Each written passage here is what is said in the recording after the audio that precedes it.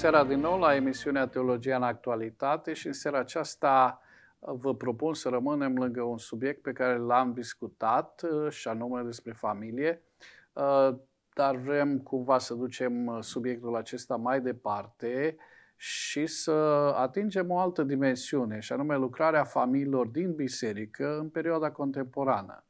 Uh, invitat uh, la această emisiune, continuare a emisiunii care a fost uh, înainte, este domnul Adrian Ban.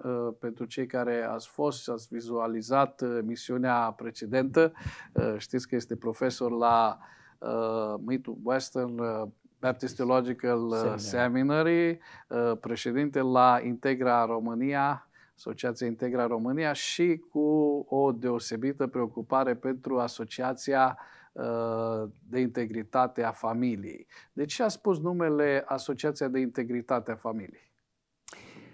Practic este Asociația pentru Integritatea Sau Familiei. Pentru. Uh, ideea este de a ajuta familiile. Și am început cu soți, soții, părinți, copii, de a privi, de a avea o, o privire holistică asupra, asupra și cuvântul integritate a fost cuvântul care l-am ales pentru că cumva ne dă acea uh, coloană vertebrală în contextul de, de familie. De fapt, venim în sprijinul familiilor, dorim să, să uh, ajutăm, uh, mergem pe multe programe care sunt de prevenție, uh, dar în același timp uh, uh, lucrăm și cu familii care ajung la nevoi mari, urgente, intervenții, practic, de a ajuta să iasă din, din, din câte o uh, situație extrem de dificilă. Uh, unele sunt în pragul divorțului, care vin și ne caută um, și este multă durere. Vă spun sincer că este o durere extraordinară să vezi un soț și soție care uh, efectiv nu știu cum să mai iasă cât mai repede din, din relația de, de căsnicie. Uh, și este durere pentru că acei doi oameni cândva undeva s-au iubit, s-au găsit atractivi unul față de au, au construit împreună, au și totuși au ajuns la punctul acesta. Și asta face ca uh, de multe ori uh, dorința noastră este să-i ajutăm pe cei mai mulți, nici măcar să nu guste acest aspect al vieții care unii trec prin prin el. Fiind uh, credincioși, uh, presupun că integritatea este strict legată de fidelitatea față de adevărul lui Dumnezeu uh, și aș vrea să vă întreb care sunt acele adevăruri fundamentale cu privire la familie biblice. Da, primul este, îl găsim în Geneza 2 cu 24, este chiar faptul că căsnicia, căsătoria este invenția lui Dumnezeu. Și Domnul Isus, în umblarea lui pe pământ, face referință la acest text ca fiind, de fapt, fundamentul în căsătorie. De aceea va lăsa omul pe tatăl său și pe mama sa și se va lipi de nevasta cei doi vor, face, vor fi un singur trup. Uh, este aspectul de lăsare, lipire uh, și uh, specificul trupului, a unui singur trup, uniunea pe care, care Dumnezeu vrea să, o, să se întâmple în familie și acest lucru să se întâmple între un bărbat, o femeie, până când moartea îi va despărți. Da, societatea întotdeauna a avut idei năstrușnice și altele, inclusiv în vremea Domnului Isus, când Moise ne-a poruncit să dăm Uh, liber cu un bilețel uh, dacă nu-mi place de soția mea. De obicei cam așa mergea, nu mergea că soția își lasă bărbatul, de obicei uh, bărbatul își lăsa soția în perioada respectivă, dacă nu-i plăcea ceva, să-i dea un bilet de adio și să-i spună de fapt ăsta e divorțul meu de tine și du-te, caută-ți fericirea în altă parte. Um, fundamentul căsătoriei pleacă de acolo, ca fiind ideea lui Dumnezeu. Un alt aspect este legat de ceea ce Scriptura, în mod special în Noul Testament, vine și ne clarifică dinamica relației dintre soț și soție, bărbaților, modul în care interacționezi în, în, în familie, care este atitudinea care trebuie să o adopți, care sunt responsabilitățile și rolul, rolul tău de soț în familie, modul în care uh, ai un singur model de a te relaționa la soție cum și-a iubit Hristos biserica. Și adeseori pun uh, această întrebare bărbaților și spun, uh, ți-ai făcut tema de casă, ești la zi cu toate? Că dacă nu, atunci probabil că ar trebui să nu ne uităm așa de mult ce n-a făcut soția sau a făcut soția și să ne întoarcem înapoi la tema noastră de casă. Um, este, este extrem de important ca atunci când uh, mergi la drum, să te uiți la care sunt visele, dorințele tale înainte de căsătorie. Adeseori punem întrebarea, este vreun motiv de incompatibilitate în căsătorie pe care Scriptura să îl prezinte? Foarte mulți vin la noi și îmi spun, spunem dacă ne potrivim. Ce înseamnă asta? Corect. Și uh, întotdeauna le, le îndreptăm privirea spre textul care spune să nu te înjugi la un juc nepotrivit ție. Nu pui lumina cu întunericul, nu pui neprihănirea cu, cu, cu nelegiuirea. Cu alte cuvinte, uită-te la persoana cealaltă dacă a experimentat, dacă într-adevăr este copil de Dumnezeu și dacă destinul vostru se suprapune. Te înjugi la un juc. În rest, toate celelalte sunt uh, Uh, lucruri care se pot uh, definitiva, se pot lucra, se pot aranja, se poate, ne putem îmbunătăți, uh, inclusiv dacă diferențe de personalitate sau stiluri de comunicare sau cum am crescut eu, cum ai crescut tu.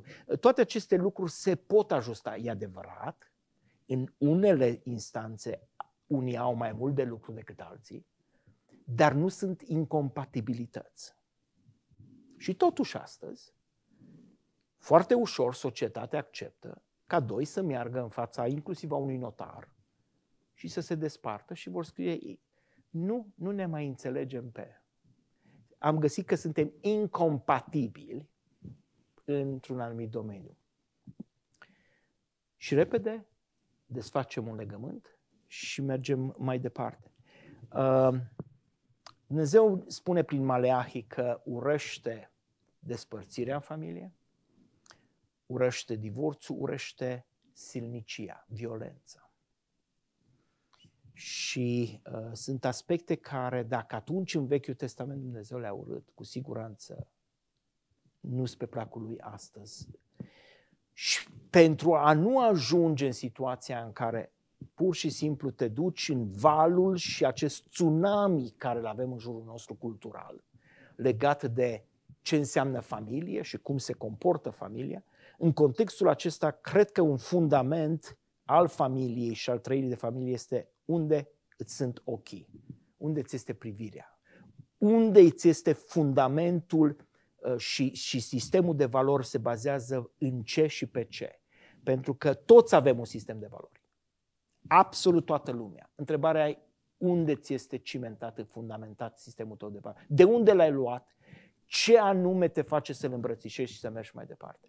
Și cred că aici este extrem de important de, de a-i ajuta pe tineri astăzi, atunci când vor să facă pasul înainte, de a privi la aceste întrebări, a privi la temerile care le au legate de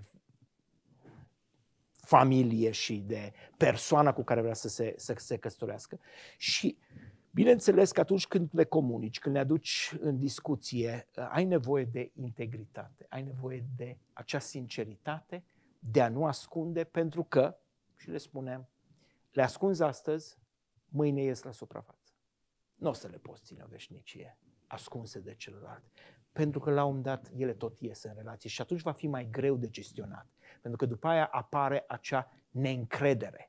Uh, faptul că nu mi-ai comunicat, nu mi-ai spus aceste adevăruri, le-ai ascuns de mine, nu mai am încredere în tine. Și unul dintre cele mai de preț lucruri într-o relație este încrederea. Se clădește, se câștigă greu și se pierde repede. Ce puteți spune despre dragoste? Pentru că uh, bărbaților, iubiți cu nevestele, uh, cum uh, înțelege Scriptura dragostea, uh, cum ați văzut că este ea Uh, practicată astăzi în familie?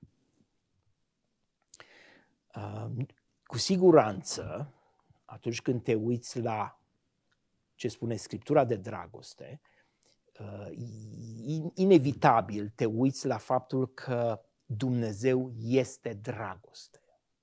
Și avem un seminar care îl ținem, Dragostea nu este o întâmplare. Uh, pentru că dacă Dumnezeu însuși este dragoste, așa cum ne spune Scriptura, dacă El este prezent în viața mea, dacă El îmi controlează viața mea, dragostea Lui vine cu El. Nu-i separată. Și atunci, dacă din punct de vedere al Scripturii trebuie să înțeleg de fapt dragostea în termenii lui Dumnezeu și nu în termenii Hollywoodului sau a filmelor sau a, a străzii. Uh, pentru că deseori dragostea este percepută doar prin prisma sentimentelor, acelor fluturași care îi avem sau i-am avut și așa mai departe cândva.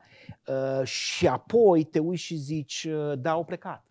Mi-aduc aminte când, la un moment dat, într-o discuție cu cineva, îmi spune, a plecat soția de la mine. Și când a plecat, mi-a spus așa, nu mai simt nimic pentru tine, nu mai pot să te iubesc și de aceea nu cred că mai este relevant să stăm împreună.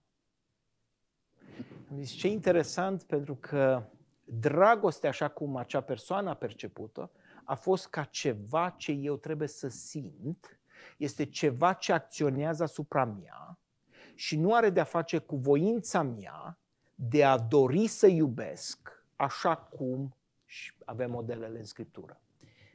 Pentru că dragostea din perspectiva lui Dumnezeu este un act de voință. Dumnezeu ne-a iubit, a acționat în baza dragostei Lui pentru a aduce ceva spre binele nostru. Și aici este un alt aspect. Dragostea nu va dori să facă rău nimănui. Dragostea nu va dori să facă rău nimănui. Da, poate fi uneori percepută ca și neloialitate sau un act care nu este pentru mine, pentru că o trec prin filtrul meu personal sau uman. Dar dragostea care, care într-adevăr caută bine celuilalt, binele celuilalt, uh, va fi o dragoste care știe să jerfească, știe să spună da și știe să spună nu. Hmm. Și asta e un element extrem de important. Când trebuie să spui nu în relație de dragoste? Uh, când spui da și când spui nu? Uh, și aceste lucruri se învață. Pentru că niciunul dintre noi nu ne-am crescut cu dicționarul în creier, cu învățătura direct presetată la noi și nu suntem roboți. Dar acest lucru se învață prin aplicare. Prin implicare și a lăsa învățătura, a lăsa uh, cuvântul lui Dumnezeu să, să transforme. Și transformarea din nou vine, este un proces. Nu va fi totul peste noapte, nu va fi doar acum, ci este un proces prin care cresc, maturizez, aplic și pe măsură ce, ce, ce fac acest lucru, vin alte oportunități și mă duce la alt nivel de implicare. Este interesant că este o rugăciune a Apostolului Pavel uh, pe care uh, uh, adeseori mă întorc la ea pentru că este um, este foarte concludentă în modul în care Dumnezeu lucrează în viața noastră. În, în epistola lui către Coloseni, în primul capitol, uh, spune așa, din începând versetul 9, de aceea și noi din ziua când am auzit aceste lucruri, și vorbește despre dragostea și uh, uh nădejdea și credința pe care coloseni, uh, cei din Colose o aveau față de, de uh, sfinți. De când am auzit aceste lucruri, nu încetăm să ne rugăm pentru voi. Și care e rugăciunea? Și să cerem să vă umpleți de cunoștința voii Lui, în orice fel de înțelepciune și pricepere duhovnicească. Deci vorbește de cunoștința voii Lui, pentru ca, odată ce te umpli de această cunoștință a voii Lui, adică ce vrea Dumnezeu de la să vă purtați într-un chip vrednic de Domnul, ca să-i fiți plăcuți în orice lucru, aducând roade. Cu alte cuvinte, viața mea, rodirea mea, comportamentul meu evidențiază cunoștința și faptul că sunt plin de cunoașterea lui Dumnezeu. Aducând roade în tot felul de fapte bune și dacă s-ar fi oprit aici, am fi zis, da, ăsta e ciclu, cunoștință, mai multe roade. Și crescând în cunoștința lui Dumnezeu. Oh, practic este ca o spirală. Dar o spirală care te duce în, în cunoaștere, în aprofunzime și de aceea Pavel de ori de câte ori explodează în aceste rugăciuni. Este o rugăciune în care parcă realizează încă o dată măreția lui Dumnezeu. Și crescând în cunoștința lui, lui Dumnezeu și întăriți cu toată puterea, potrivit cu tăria slavei Lui pentru orice răbdare și nelungă răbdare cu bucurie. Mulțumim Tatălui. Observ cum, de fapt, această cunoștință vine prin aplicarea ei, prin a lăsa să-mi influențeze viața mea, comportamentul meu, roadele mele sunt vădite și cresc în cunoștință. Nu este ceva care este uh, un cerc în, în, în parte orizontală, ci este un proces care mă duce și îmi cunosc mărimea, dimensiunile ex, infinite ale lui Dumnezeu. Dar am bucuria să le experimentez aici. Deci, cu alte cuvinte, putem crește în dragoste, trebuie să creștem în dragoste, exact. crescând în cunoștință, vom crește și în uh, dragoste.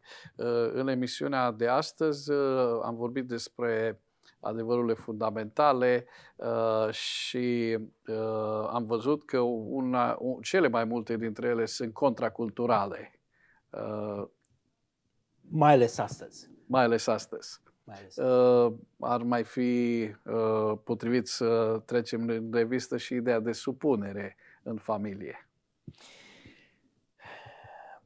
În general, dacă cei doi sunt întorși la Domnul, au cunoscut viață, uh, naștere din nou, atunci când soțul învață să iubească soția cum Hristos și-a iubit biserica, soției nu-i va fi foarte greu să se supună.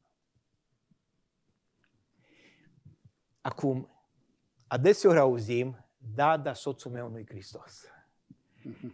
Are problemele astea, e încăpățânat și așa mai departe și vine și, și spune, da. Frumusețea este că atunci când uh, Dumnezeu ne cere să facem ceva, îl putem identifica în trăirea Lui atunci când Domnul Iisus Hristos a venit pe pământ. Într-o situație extrem de dificilă Domnului, în grădina Ghețimani, când Domnul Iisus simte, până și transpirația se transformă în picături de sânge, presiunea, greutatea evenimentului care urma să fie, are o rugăciune și, Tată, dacă este cu putință, îndepărtează de la mine acest pahar. Știm că avea înger la dispoziție. Știm că avea soluția out. Da? Și totuși, în contextul acela, următoarea parte vine și este extraordinară. Și totuși, nu voia mea, ci voia ta să se facă. Aici este unul dintre exemplele de supunere față de voia lui Dumnezeu pe care însăși Domnul Iisus Hristos îl modelează. Și este un aspect extraordinar în al uh, transmite sau al, al înțelege. Și în momentul în care soțiile înțeleg care este, cine sunt ele în Hristos, înainte de a se uita cine sunt ele vis-a-vis de soț sau cum este soțul sau nu este soțul. Dacă își înțeleg această, această identitate a lor în Hristos și că de fapt, așa cum Apostolul Petru ne spune, că noi și soțiile noastre suntem moștenitorii vieții Veșnice. veșnice. Păi dacă suntem moștenitori, atunci amândoi contribuim și mergem într-o direcție care este comună. A, greșesc astăzi, greșești tu astăzi, dar învățăm iertarea pentru că Hristos ne-a iertat și că suntem chemați să ne iertăm. Învățăm facerea de bine, învățăm uh, atitudinea aia de, de a avea răbdare uh, unul cu altul, uh, da, de a, de, a, de a sluji unui altuia, uh, de a vedea care sunt nevoile uh, celuilalt și cum spune Apostolul Pavel în Filipeni, fiecare să se uite la nevoile apropiului său mai presus de sine chiar, da? De ce? Pentru că vrei de fapt să împlinești cuvântul. Ei, într-o familie în care și el și ea caută fața lui Dumnezeu, nu cred că ar trebui să fie dificil supunerea. Asta nu înseamnă că nu voi în momente dificile, dar per total nu ar trebui să fie. Și noi am avut, o, o, am avut experiențe deosebite în casa la noi. Și am avut câteva momente în care acest aspect al supunerii din partea soției a fost testat. Da? în anumite, și poate o, cu, ocazie, cu altă ocazie o las pe ea să, să vorbească dacă, dacă va fi nevoie pe tema aceasta, dar cred că de multe ori problema apare atunci când foarte mult acționăm în fire.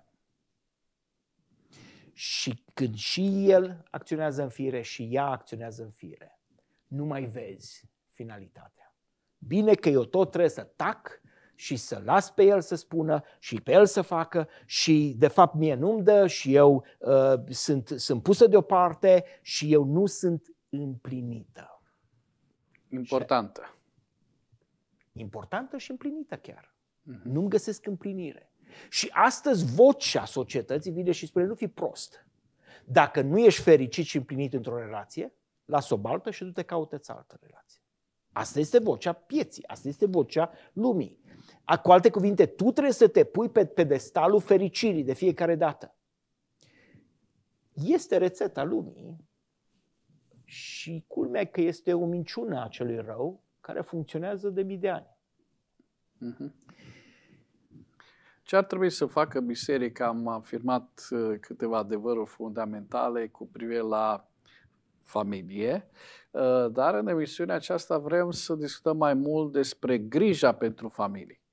Uh, ce să facă biserica, care ar trebui să fie slujirea pe care biserica ar trebui să o aibă pentru a sprijini familia. Cum biserica este adunarea celor răscumpărați al Limbajul semantic m-a marcat și pe mine. Pentru că am discutat uh, de acest aspect în care uh, de-a lungul a 40 de ani am urmărit, inclusiv în viața mea, evoluția și impactul schimbării sau impactul cuvintelor pe care le folosim în viața uzuală. Uh, eram la o mătușă de-a mea la țară, în județul Bihor, într-un și mergeam duminică eram pe drum și era duminică dimineața și uh, cineva, un localnic, mă vede și zice, unde mergi, flăcăule? Și spun, la biserică. Mătușa mea venea din spate la câțiva metri și a auzit. După ce a plecat persoana respectivă, a venit, m-a luat de, de după umăr și mi-a spus, Adi, noi mergem la adunare, e adunarea pocăiților ortodoxii merg la biserică. Acum, era o semantică care la, la, în, la țară era evidentă. Pocăiții mergeau la adunare, ortodoxii mergeau la biserică.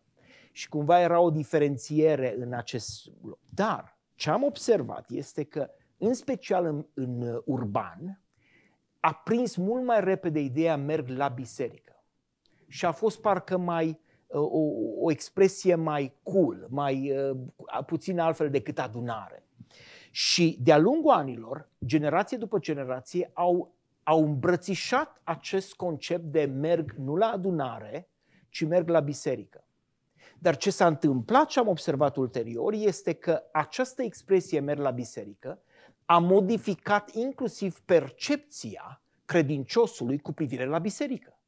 Biserica este ceva la ce merg, ceva ce e vizibil, tangibil, da? este o locație, iar Scriptura vorbește despre biserică ca fiind trupul lui Hristos. Ca fiind un organism viu, nu este ceva la ce te duci, ești ceva care faci parte din acest organism, dacă faci parte. Și în acest context, generații după generații, au crescut cu o semantică care nu neapărat e vinovată, cât uzua, faptul că am folosit-o a modificat percepțiile noastre, gândirea noastră cu privire la ce este de fapt biserica și ce se întâmplă de fapt când mergem la părtășia bisericii. Mergem la biserică. Biserica este acolo pe colțul, pe strada cu tare. Uh, și acest lucru a transformat foarte mult din uh, trăirea oamenilor, a fraților, atunci când mergi la, la părtășia. Cum poate atunci această adunare să ajute familia? Ok, mulțumesc. Um, să ajute familia prin încurajare, prin a, a facilita, de fapt, uh, părtășia, a încuraja la a căuta să aibă acea părtășie în familie și un adeseori este ușor să spui, e mult mai greu de făcut. Și astăzi trăim într-o dinamică, timpul parcă se scurge mult mai repede. Uh, și parcă nu mai avem timp. Un lucru care l-am, l-am, l-am observat este atunci când două, trei, patru, cinci familii decid să se adune împreună, mai mult decât doar în contextul adunării bisericii, cele obișnuite. Se creează o dinamică mai strânsă în care uh, și nivelul de încredere crește și în care familia poate să împărtășească din provocările vieții mai ușor și de asemenea pot mult mai repede să ducă în rugăciune, să se sprijine unii pe alții. Uh, această dinamică am văzut ca fiind foarte benefică pentru multe familii, mai ales când vin ori ispite, ori încercări. Uh, mi-aduc, mi-aduc aminte că uh, în mai multe grupuri de familie am avut această, această experiență, dar în mod particular într-una în care uh, doreau să aibă copii. Timpul trecea, nu se întâmpla nimic. Mai mult, merg la medic, vorbesc cu un, un specialist, îi spune uh, nu, nu vei putea avea copii niciodată. Merg la un alt specialist, spune nu vei putea și zice dacă cumva dintr-o eroare umană, cum spun ei, se întâmplă să rămâi gravidă, vai și un monstru. Îți dai seama ce vrei să auzi, da? Deci nu poți să ai, dar dacă totuși rămâi, s-ar putea să. Și în zbaterea acestei familii, era o zbatere reală. Nu puteai veni să-i spui, a, nu te îngrijora de nimic, lasă, stai. Era acolo, doreau, vroiau, se rugau pentru asta, tânjau și ne-am adunat ca familie. Și am auzit aceste plânsete ale lor și ne-am, ne-am legat în rugăciune pentru familia aceasta. În mod specific, am ținut zile de post și de rugăciune. În cazul acesta, Dumnezeu a răspuns și a binecuvântat cu doi copii. Sănătoși și foarte bine. Bucuria părinților a fost extraordinară. Dar în același timp, biserica, că asta vorbeam, biserica vine în jurul familiei. Dacă nu cunoști tensiunile, dacă nu cunoști uh, presiunile sub care uh, membrii uh, bisericii și familiile trăiesc, dacă nu cunoști zbaterile lor, dacă nu ai această, această înțelegere, de fapt devenim celule singuratice, care suntem mult mai ușor de atacat și de doborât.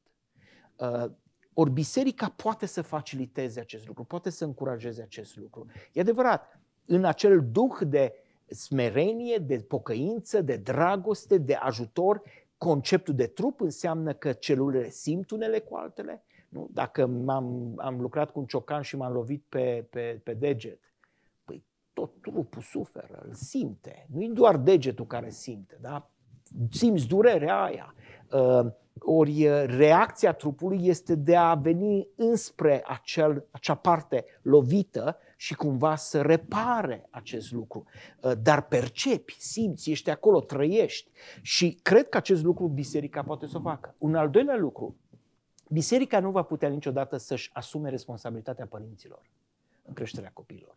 Biserica poate să vină să complementeze, să aducă, să aducă un plus, în, în, în, de exemplu, în creșterea copilor, dar nu va putea să preia această responsabilitate pe care, de aceea, biserica este încurajată să, și biserica ar fi bine să încurajeze părinții la acele umblări frumoase cu Domnul, să audă problemele cu care se confruntă. Astăzi, de exemplu, ne lovim de ceea ce nu au avut generațiile din fața noastră, și anume tehnologia. Ne bucurăm așa de mult de televiziune. O folosim, da? Dar tot așa de bine, televiziunea e folosită și pentru nelegiuire, dacă vrem să spunem, da? pentru păcat. Uh, avem uh, telefoane smart, avem calculatoare. Este un lucru extraordinar. Trăim într-o lume în care enorm de mult uh, s-a, s-a construit în, în jurul calculatoarelor. Practic am auzit pe unul dintre specialiștii în, în, în ce privește um, tehnologia vorbind despre faptul că în ultimii 30 de ani cel mai mare salt tehnologic a fost făcut în industria chipurilor. Dezvoltarea a fost de peste un milion de ori. Niciun alt domeniu nu a avut o dezvoltare de genul acesta. Adică să reușești să faci în aceeași suprafață de chip, da? deci acea, acea piesă, să spunem, care e componentă vitală în orice calculator, să devină mai rapid cu un milion și ceva de ori decât a fost când a fost înființată. Sunt lucruri extraordinare. Dar cum ne relaționăm la ele? Cum ne impactează viața? Cum ne, cum ne uh, uh, cum, cum ajung părinții să, să, să se descurce în acest web al tehnologiei, al social media, al telefoanelor, al faptului că ne impactează creierul, ne impactează viața și așa mai departe. Copiii având acces în camera lor la o lume pe care nu o controlăm. Cum facem acest lucru? Decât prin uh, a clădi relații și a învăța pe părinți și a veni în jurul lor că doar să spui copilului nu te las și când te întreabă de ce să spui pentru că eu sunt tatăl tău, părintele tău, nu cred că este suficient. O, da, la ăla mic poți să nu-i dai în mână. Dar pe măsură ce cresc copiii, trebuie să învățăm cum ne dialogăm cu ei, cum clădim. Ori cred că și aici biserica este un loc extraordinar în care se pot întâmpla aceste lucruri. Și mai este un aspect care apare și e foarte interesant de văzut, pentru că și statistica, și avem o statistică care este din nou de pe piața americană, uh, în care spune că um, cei care au decis după 18 ani, între 18 și 29 de ani, să rămână la credință în biserică, research-ul a, a identificat 5 puncte comune, dar am să vorbesc despre unul, și anume implicarea familiei în slujirea în biserică. Faptul că au fost implicați exact. i-a făcut să rămână în biserică. A fost unul dintre cele cinci puncte comune care au fost identificate de ce 25% din cei care au rămas în biserică, mai bine zis 75% au plecat, 25 rămân. De ce au rămas acei 25%? Și unul dintre punctele care comune a fost implicarea familiei în slujire și implicit atragerea lor în slujirea în biserică.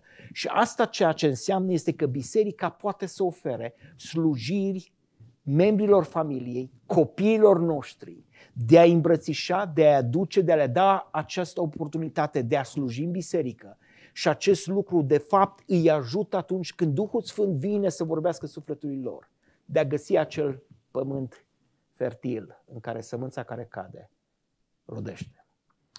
Uh, cum uh, poate fi biserica ajutată să se ajute pe cei care, uh, să zic, familiile din biserică. Deja am văzut sfătuirea, sprijinul, am văzut un spațiu în care biserica echipează familiile.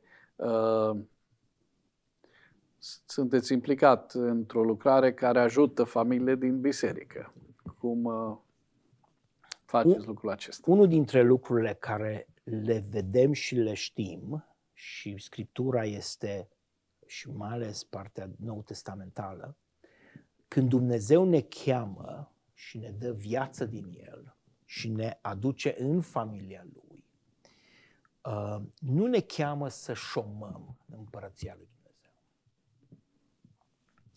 Și uh, atunci când familia se îndreaptă înspre biserică, atitudinea pe care părinții o au legat de participarea la viața comunității bisericii este extrem de importantă pentru comunitatea respectivă.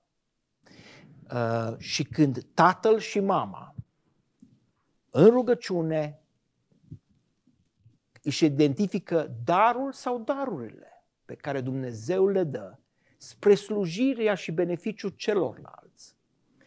Creiem, de fapt, acea comunicare și acel uh, beneficiu, acel win-win, să spunem în termenii de business da? sau educaționali, în care nu numai eu ca familie, ca membru al comunității câștig. primesc, câștig, ci dau înapoi.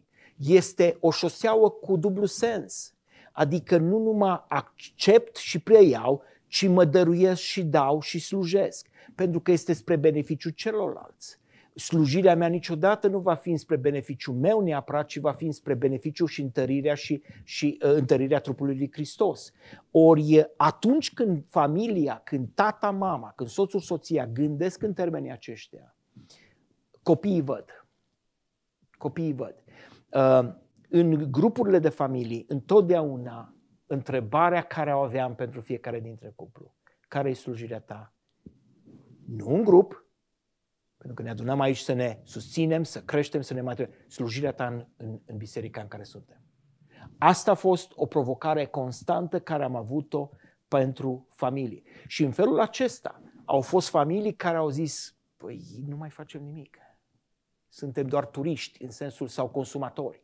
Și acest lucru i-a, i-a ajutat să înceapă să iasă din... Pentru că se formează. Nu slujești astăzi, nu slujești mâine, intri într-o matcă de, de, de confort. Și este tot mai greu să ieși din confortul acela. Această neslujire a avut impact asupra această neslujire în biserică, în adunare, a avut impact și asupra relației din familie? De obicei are. De obicei are. Pentru că trebuie să existe un motiv pentru care nu slujești în, în trupul lui Hristos. Nu slujești în trupul lui Hristos, oare cum o faci când ești acasă? Într-o expresie redusă a trupului lui Hristos. Unii spun nu slujesc în trupul lui Hristos pentru că mă ocup de familie. Nu cred că lucrurile se exclud nici vorba. Cred că Dumnezeu ne cheamă să slujim în familie, dar sunt, sunt convins că, că Dumnezeu ne dă harul și puterea și abilitățile și capacitatea ca la vremea potrivită să slujim în, în, în, în trupul lui Hristos. Uh, când mergem într-o extremă, pentru că sunt alții care slujesc în trupul lui Hristos și nu-și mai slujești familia. Și avem și această extremă, din păcate, în care familia cumva trebuie să mă înțeleagă, familia trebuie să mă accepte, familia trebuie să, să, să, să fie cu mine uh, în toate uh, și atunci mă dăruiesc pentru toți și toate celelalte și uit de familie. Dar nici reversul în care doar familia absorbă tot și eu nu mai am de dat nimic în, în uh, trupul lui Hristos, ceva nu, nu, nu funcționează uh, bine acolo. Și dacă mergi și te oferi să fii ușier duminică dimineață.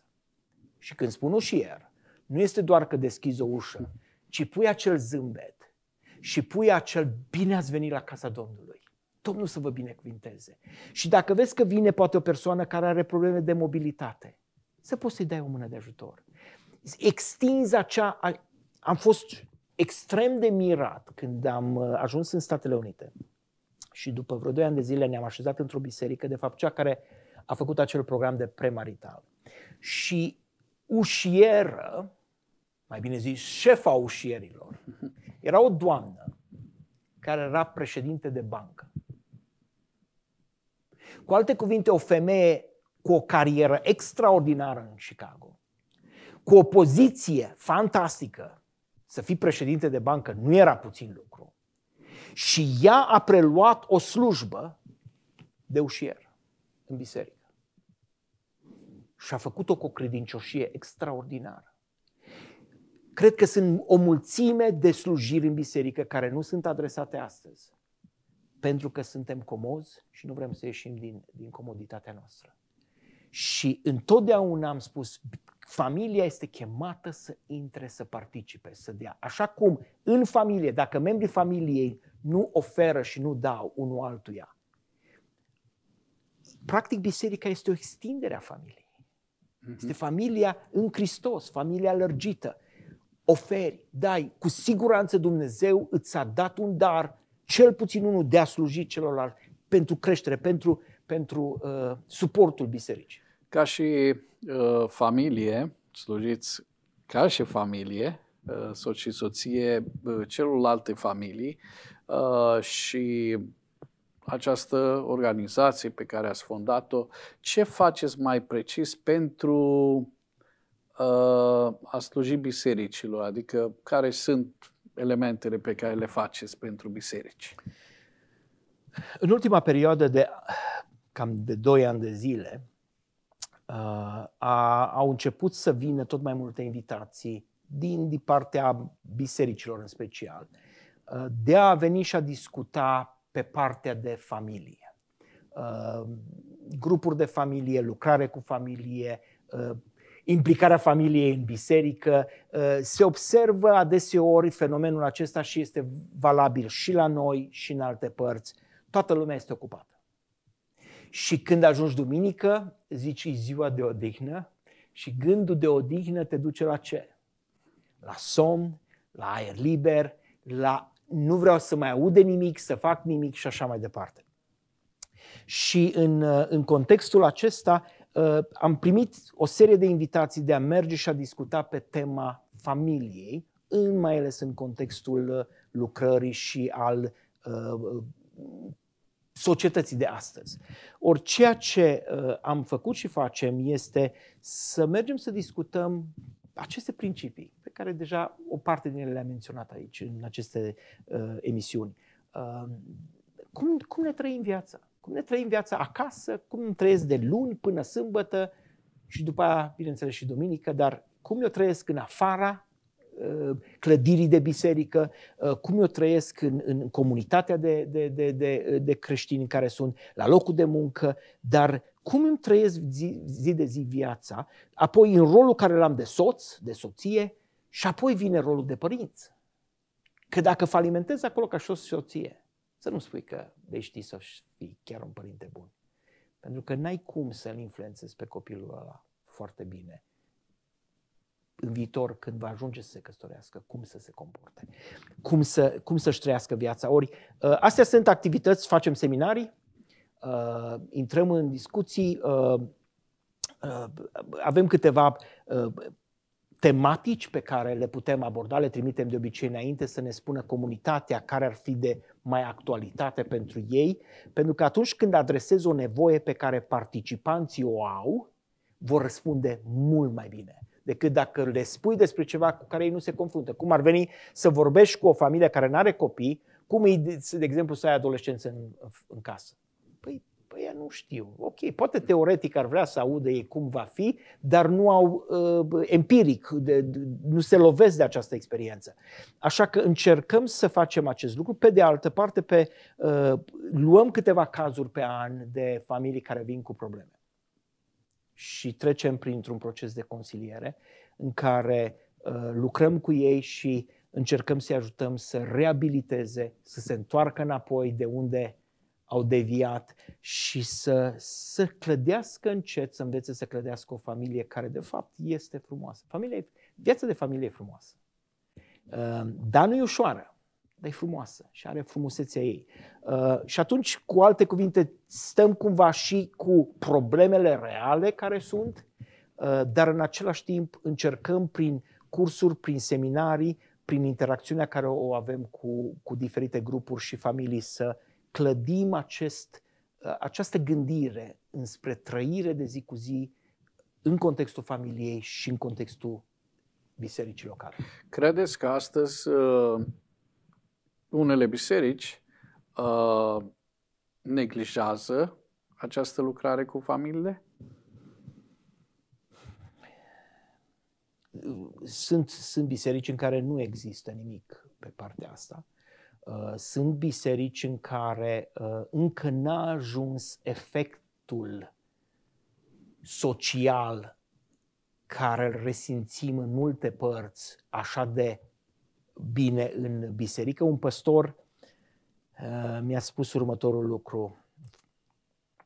Dacă ne-am fi întâlnit cu doi ani de zile în urmă, ți-aș fi spus că noi nu avem nicio problemă legat de familie în biserică. Totul merge bine. Dar astăzi nu mai pot să spun asta. Este o perioadă când lucrurile par ok, par bine, dar Acum, eu nu, nu am crescut la bloc. Pentru mine a fost grădinăritul, a fost o aventură. Atunci când ne-am mhm. mutat la casă, să vezi că smulgi o buruiană și uh, foarte curând vezi că iară mai crește una. Și zici, dar am scos-o cu rădăcină, cum s-a întâmplat? Da? Uh, buruienile nu le semeni, ele cresc. Uh, dar ca și într-o grădină în care constant trebuie să smulgi buruiana și să plantezi o floare, să pui ceva frumos, să pregătești, tot așa e și căsnicia și așa e și lucrarea cu familiile în biserică. Uh, trebuie, e un proces continuu în care să vezi care sunt familiile, care sunt nevoile, să participi și să nu mergi doar pe premisa, păi așa cum ne-am descurcat noi cândva, să ori descurca și ei. Intensitatea vieții de astăzi nu se compară cu ce a fost acum 40 de ani. Uh, nivelul de intensitate când vine vorba de ispite este mult mai mare, platformele sunt mult mai aproape de noi. Uh, uh, și efectiv suntem bombardați de la vizual la auditiv de o serie de lucruri care n-au fost în urmă cu 40-50 de ani. Cu alte cuvinte, devine mai greu astăzi de multe ori să trăiești frumos în credință decât a fost în urmă cu, chiar atunci când a fost presiunea comunismului și cu interdicțiile respective. Dar astăzi suntem mult prea aproape de păcat și mult prea aproape de noi sursele care ne pot duce într-acolo și devine o bătălie mult mai mare. Plus, viața parcă și societatea ne împinge tot mai mult înspre consum, înspre a avea, înainte de a gândi cine sunt. Și acest lucru devine o competiție adeseori în, pentru timpul nostru, energia noastră, focalizarea noastră și trăirea noastră în cele din urmă. Uh, vă mulțumesc foarte mult pentru tot ceea ce ne-a spus. A fost uh, uh, un timp frumos și ziditor pentru, cred că, nu doar pentru noi care am discutat, dar și pentru cei care ne-au urmărit, având în vedere că noi nu putem trăi de unii singuri, avem nevoie de o comunitate și această comunitate poate să ne ajute și poate să fie pentru noi un sprijin, un învățător, uh, poate să fie pentru noi un spațiu în care să trăim chiar uh, menirea pe care ne-a dat-o Hristos. Amin, așa să fie, da. Mulțumesc și eu pentru participare, pentru invitație. Vă mulțumesc și dumneavoastră, celor care ne-ați urmărit și provocarea pentru seara aceasta este dacă nu sunteți într-o biserică, alipiți-vă bisericii, pentru că o familie nu poate trăi fără a fi alimentată mereu și mereu Uh, cu învățăturile Domnului, a fi protejată în acest spațiu numit adunarea lui Dumnezeu și de aceea vă sfătuiesc să vă alipiți uh, unei biserici, iar dacă sunteți într-o biserică, nu fiți doar niște familii centrate pe viața de familie, ci uh, nu uitați, familia există în biserică, în adunare, Uh, ea de acolo își primește binecuvântarea și acolo trebuie să o întoarcă. Fie ca Dumnezeu să ne ajute pe fiecare dintre noi să privim această relație biserică-familie în modul în care Sfânta Scriptură o privește și să putem beneficia de pe urma trăirii în conformitate cu învățătura Scripturii atunci când evaluăm această relație. Vă doresc toate cele bune, la revedere, o seară bună!